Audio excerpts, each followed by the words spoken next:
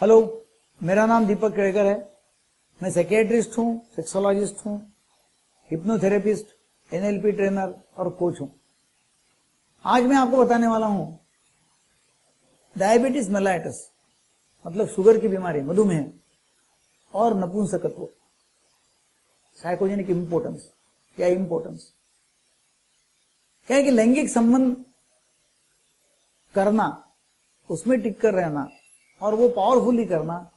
जिनको जिनको डायबिटीज़ है शुगर की बीमारी मधुमेह ये मधुमेह में बहुत ही तकलीफ़ का हो जाता है। काफ़ी सारे लोग जब मेरे पास में 40 साल की उम्र के बाद में आते हैं कि हमको नपुंसकत्व आया हुआ है, या लैंगिक सुख मिलता नहीं है, या हमारे शिश्न में इरेक्शन नहीं होता टेंशन नहीं आता शिश्न में, या इंपोर्टेंस है लैंगिक समस्या है तो पहले मैं उनको बोलता हूँ कि पहले आप आपका, आपके खून का शुगर चेक करो। होता क्या है कि लोगों को मालूम ही नहीं रहता कि हम अपने को डायबिटीज़ है। खून में शक्कर बढ़ते जाती है। 200, 250, 300, साढ़े तीन सौ मालूम ही नहीं है। उसके अलग अलग लक्षण वो धीरे धीरे बढ़ती है करके लक्षण मालूम नहीं पड़ते।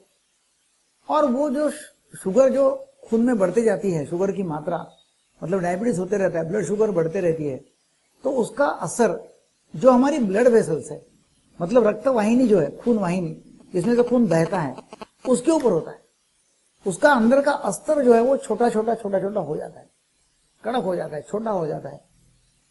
और फिर उससे फ़र्क ये पड़ता है कि शिश्न के तरफ़ मतलब पेनिस के तरफ़, लिंग के तरफ़ जाने वाला जो खून का सप्लाई है, वो कम हो जाता है। और यदि खून का सप्लाई कम हो गया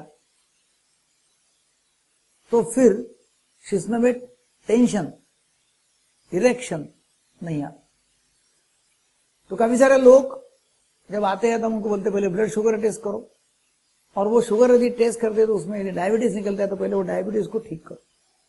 डायबिटीज़ को ठीक करने के बाद एक तो वो आप ही आप अच्छे हो जाते हैं, या फिर उनको दवा देनी पड़ती है। क्योंकि जब ब्लड वेसल्स जो है, रक्त वाहिनी जो है, खून जिसमें से बहता है यदि वो छोटी हो गई है, उसका उसका आकार जो है वो छोटा हो गया है, तभी उसको बड़ा करने के लिए तो ऐसा कोई संभव नहीं है तो फिर दवाई दो। दवाई से खून जब अंदर जाएगा, शिश्न में जब खून जाता है, देखो इरेक्शन कैसा होता है? ये शिश्न का इरेक्शन जो है, वो कम से कम डेढ़ सौ से ढाई सौ मिलीलीटर खून शिश्न में अंदर जाता है, और उसकी वजह से टेंशन आता है। अब जब जो ब्लड वेसल जो है, वो छोटी हो गई है तो उतना खून अंदर जाएगा नहीं शिश्न में। उतना खून अंदर नहीं गया तो वो शिश्न जो है वो बड़ा होता नहीं इरेक्शन उसमें होता नहीं।